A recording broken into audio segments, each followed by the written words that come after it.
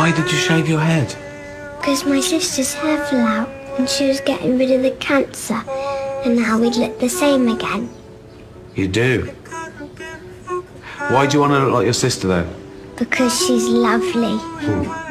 She is, and I think you're lovely too. She got sponsored and raised £1,200 to help me.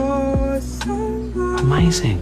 £1,200. Wow. Well, I need your names to put them in the paper so everyone knows how brilliant you are.